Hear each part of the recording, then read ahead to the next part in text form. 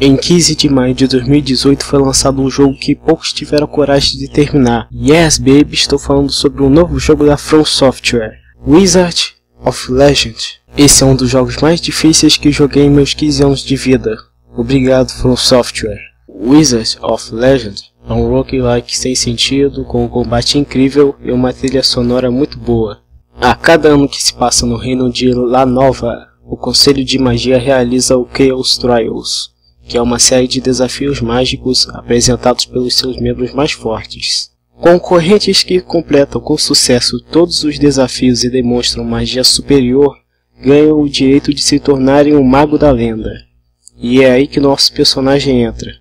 Esse é o enredo do jogo em poucas palavras. Isso poderia simplesmente ter sido um enredo cheio de reviravoltas, drama, mas é só isso. E esse é o tutorial de como fazer um enredo decepcionante. Espero vê-lo no próximo vídeo.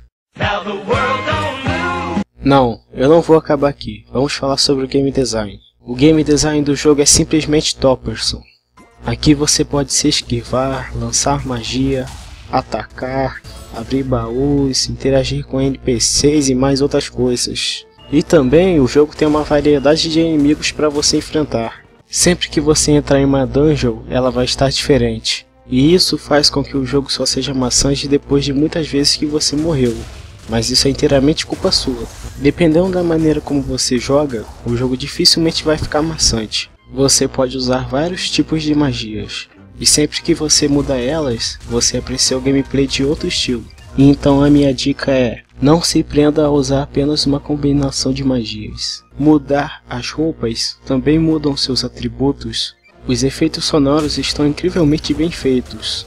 O jogo tem um monte de magias, então você vai ouvir sons deliciosamente diferentes.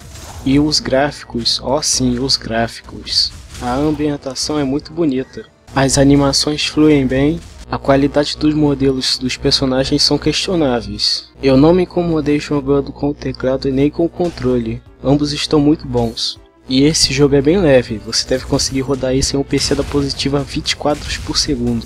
A história desse jogo não é para se levar a sério. Eu esperava algo bombástico após a batalha final, mas foi profundamente decepcionante. Esse é só um jogo onde você passa por um monte de desafios e mais nada. É só isso. Para Wizard of Legend eu dou 8/10.